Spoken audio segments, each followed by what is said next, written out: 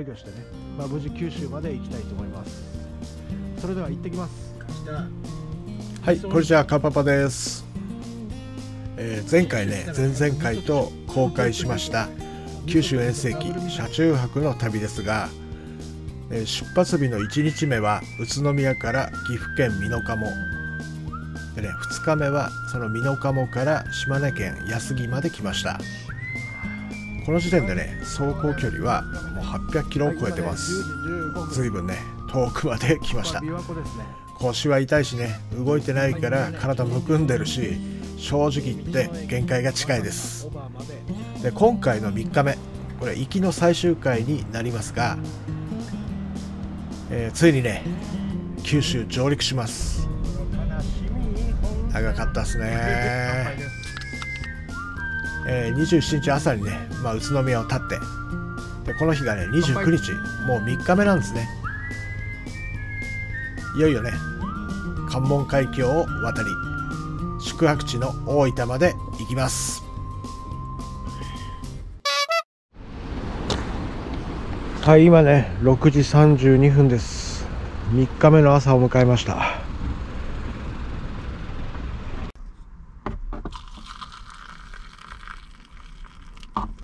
はい、えー、今日ね3日目の朝11月29日えー、時間がね6時50分ですおはようございます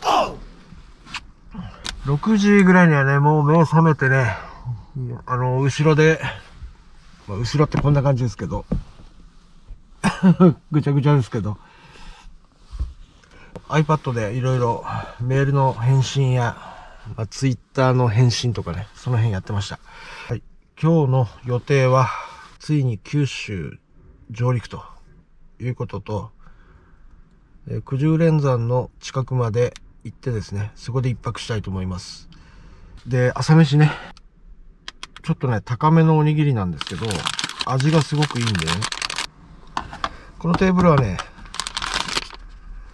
これすごくいいんですよ。あの、ハンドルに引っ掛けるタイプでね、僕がね、あの、以前、営業職をやってた時に、車でご飯食べるってことが、まあ、ほぼ毎日あったんで、その時にね、買ったテーブルなんですけど、もう15年ぐらい前かな。もっと前か、20年ぐらい前から使ってますね。じゃあ、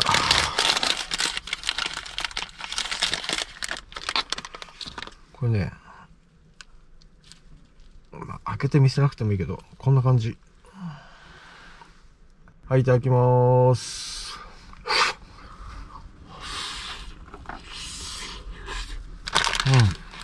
うん。うまっ。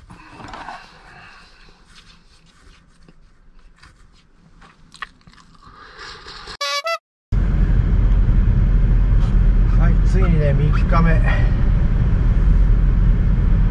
九州に向けて出発します。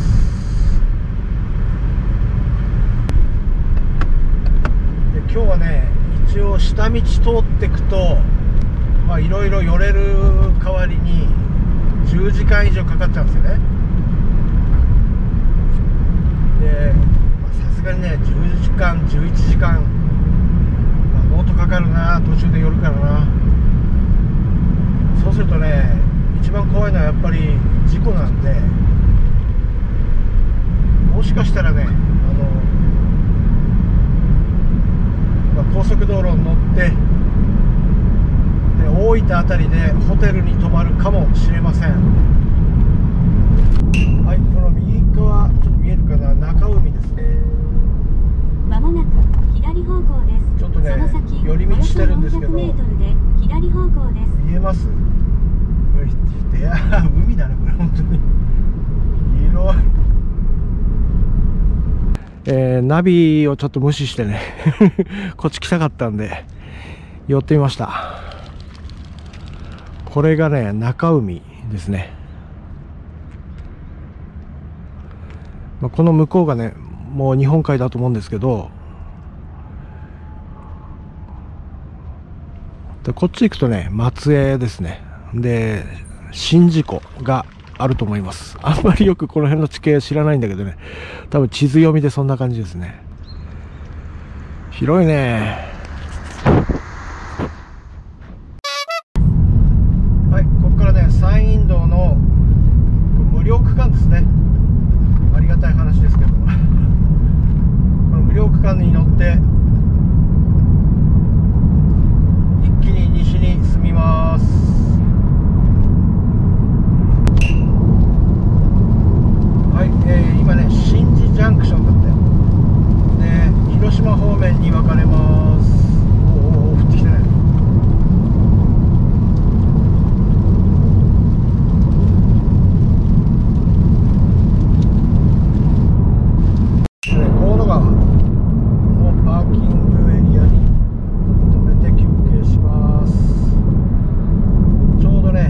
発して130キロぐらいかな左からの合流があります。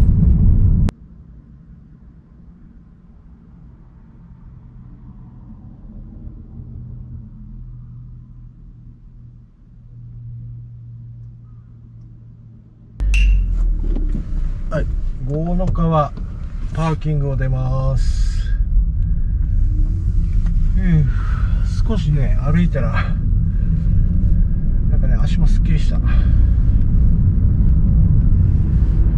郷の川ってなんかどっかで聞いたことあるなと思ってなんか昔高校野球甲子園大会で郷の川っていう高校が出たようなね記憶があるんだけど。はいまあそれはさておいて。はい中国道合流ですこれはねなんていうんだろう鹿野か鹿野サービスエリアによってですねなんか食べるもんでも買ってきます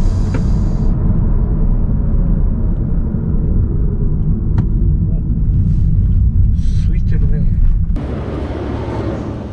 さあ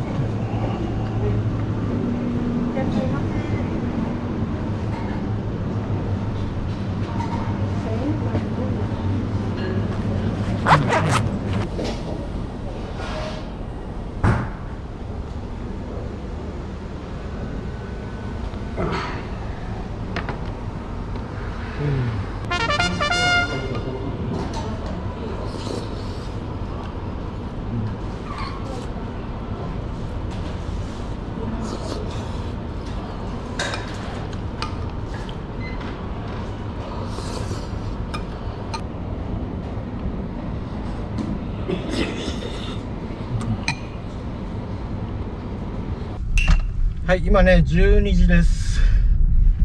えー、ここね、どうだっけ、サービスエリア。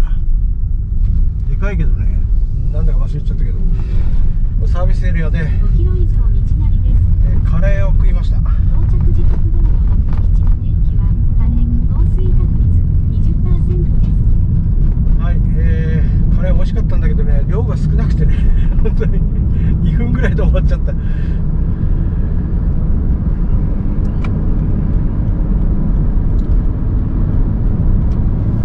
はい、えー北九州方面ね、えー向かってまた再びスタートします。はい12時54分下関に入りました。は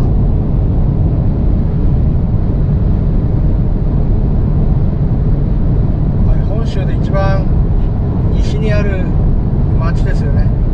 まあ市だよね。まあいよいよ九州だね。ナビの画面ではねもうすでに九州が見えてます。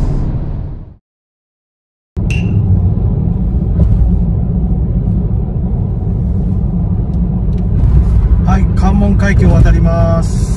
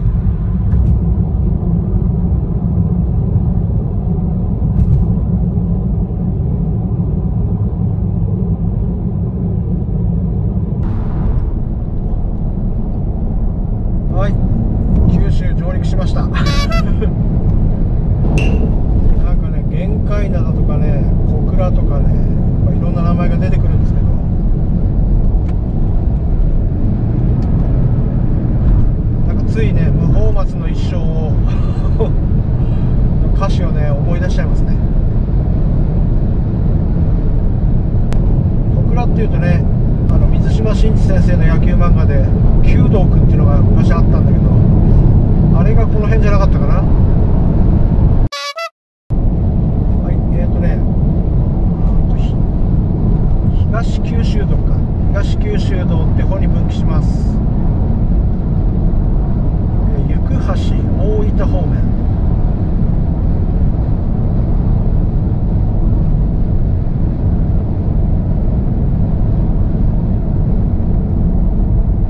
ね2時15分ぐらいです大分県に入りました目的の県ですねもう大分県今日は登らないですけどいやー来たねまあ目的地まであと1時間切っちゃいましたねまあまだまだね気緩めないであと1時間頑張って運転しますはいここでね大分方面となんだろう熊本方面ですか大分道って書いてある福岡熊本長崎方面の分岐ですねで僕らはこの左側大分宮崎別府方面ですね。こっちに行きます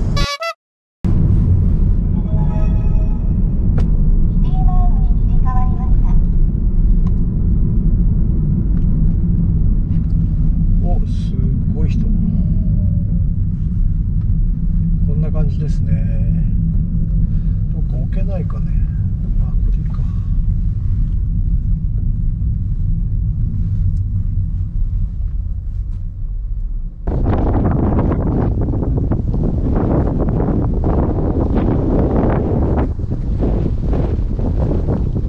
えー、別府湾ですね。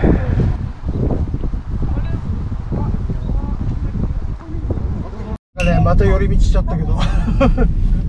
どんどん遅くなっちゃうな。ちょっとねガソリン入れてきます。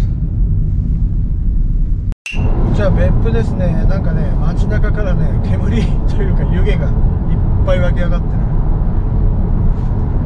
不思議な光景だねはい大分インター降ります今ね3時13分まもなく直進です。その先、およそ3。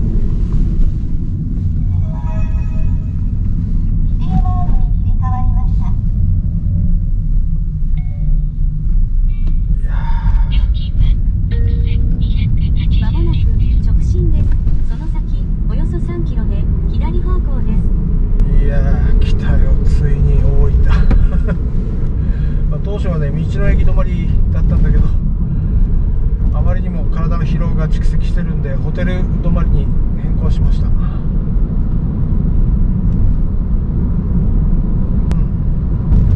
大分の市街地に入り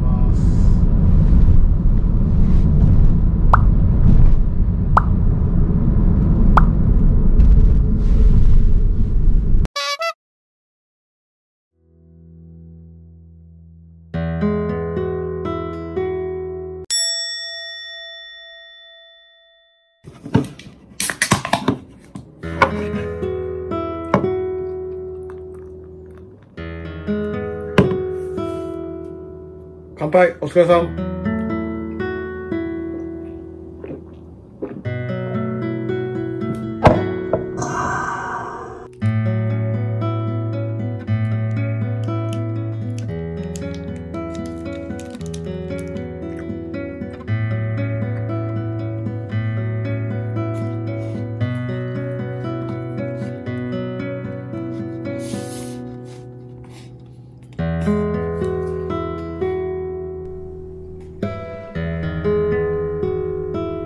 大分までの道のりですが、1日目は宇都宮から岐阜の美濃加茂、2日目は美濃加茂から島根の安来、で3日目がですね、安来から大分県の大分、1300キロを走りました。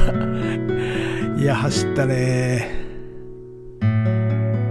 でね、いよいよ明日は、えー九十連山を登ります。山頂沖なので寝ます。おやすみなさい。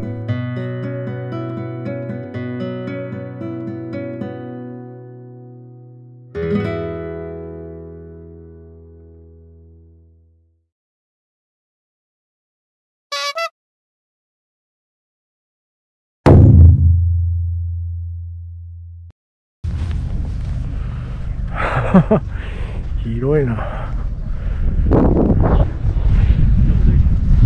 すごいな。